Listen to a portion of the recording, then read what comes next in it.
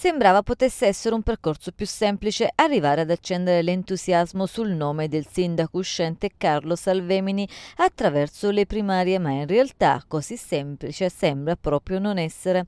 Le primarie del centro-sinistra stanno realmente entusiasmando chi a sinistra vorrebbe un cambiamento e così a sfidare Salvemini sul banco dei consensi arriverebbero dei nomi che alleggiavano già da tempo alcuni, mentre altri tuonano come un fulmine a cielo il Sereno. Da tempo infatti si parlerebbe di Sergio Signore, vice di Carlo Salvemini, da sempre in campagna elettorale, e poi ci sarebbe Carlo Mignone.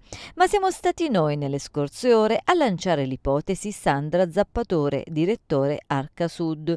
Un'ipotesi questa che ha preso di sorpresa il centro-sinistra, tanto da far saltare un tavolo di confronto che si sarebbe tenuto in gran segreto proprio nelle scorse ore.